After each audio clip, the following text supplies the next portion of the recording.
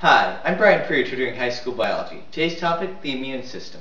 The immune system is the body's defense against infection by things like viruses, by things like bacteria, by things like protists, and sometimes even itself in the case of cancer.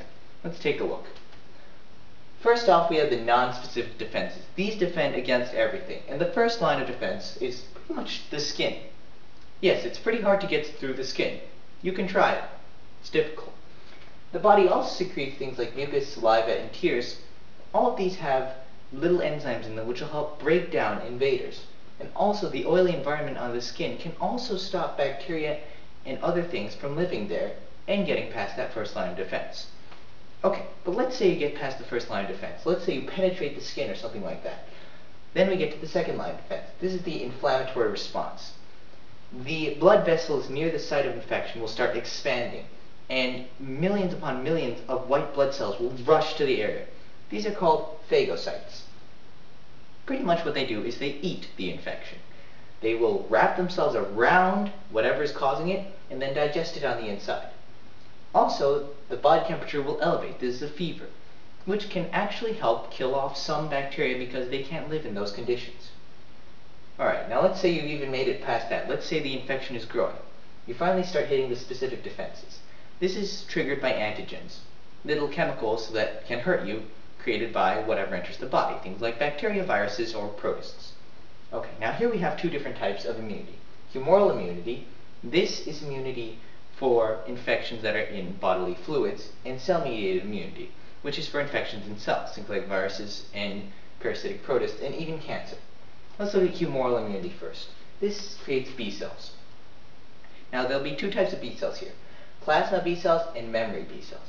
Plasma B cells will produce these things called antibodies. These will bond to antigen sites and attack the things that are causing the infection. Once that thing is finally fought off, you'll have memory B cells, which remember the right antibodies to be produced. Because your body doesn't know. It'll just produce random antibodies until it finds the right one, and it keeps those memory B cells. What about cell-mediated immunity? This involves T cells. And here we have four different types of T cells. Killer T cells. These just go and kill the infection. They see a cell infected by something, kills it right away. Kills the pathogen, kills the cell, killer T cells. Then we have helper T cells. These will figure out which T cell is doing the job right and create memory T cells so it can fight off the infection more efficiently next time. Then we have the suppressor T cells. Once the infection is coming under control, they'll start suppressing the killer cells, because otherwise they'll go on a rampage and kill everything else. And finally, the memory T cells, these are produced by the helper T cells. Again, they'll simply help fight off the infection should it return. To recap, the immune system has non-specific defenses and specific defenses. The non-specific defense, first line defense, skin. Also, bodily secretions such as mucus, saliva, tears, and oils. These make it very difficult for infections to get into the body or to live there. If you get past the first line, you enter the second line of defense, the inflammatory response. The body produces lots of white blood cells, phagocytes, which will simply engulf the infection and digest it. It also has a fever and raise in body temperature to try and kill off whatever's living there. Then we have the specific defenses, triggered by antigens, which are produced by whatever is infecting the body. We have two types, humoral immunity and cell-mediated immunity. Humoral immunity is for infections in bodily fluids. Here we have B cells. Two types. Plasma B cells, these will create antibodies at random.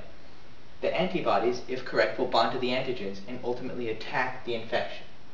Once the right antibodies are found, the memory B cells will be kept to remember how to fight off the infection and the right antibodies to use. Cell-mediated immunity is for infections within cells, such as viruses and protists. Here we work with T cells. Killer T cells will kill off whatever is infected, cells and the pathogen. Helper T cells, which will create memory T cells to remember which T cells did the right job later on and fight off the infection more efficiently.